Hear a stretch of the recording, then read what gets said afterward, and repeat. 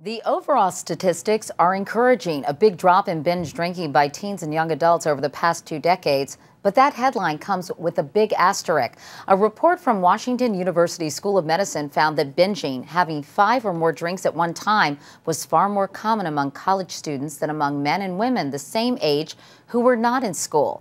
Particularly startling, a 40% increase in drinking for 21 to 23 year old women attending college.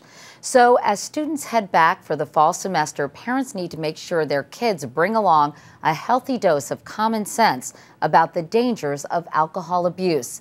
And schools need to educate students about the dangers of excessive drinking, too. More than 1,800 college students die every single year because of alcohol.